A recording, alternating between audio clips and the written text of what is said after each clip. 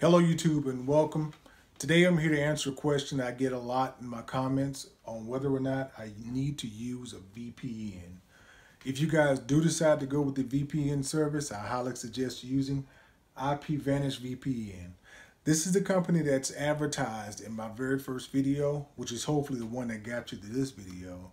And if you follow the link in the description of that video, they give you a huge saving. It's up to 60% off last time I checked maybe more, maybe less, I'm not sure.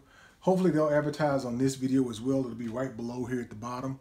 Now, for watching TV or any of the live TV apps, it's kind of hit or miss.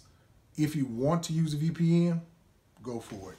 Now, if you're using, if you're watching movies, it's definite that you need to use a VPN service. If you don't go with IPVanish VPN, go with somebody. If you're watching movies, you want to use a VPN service that's it for today, guys. Just wanted to make a quick video. Got another video coming out right after this one. You want to stay tuned for that one. Peace.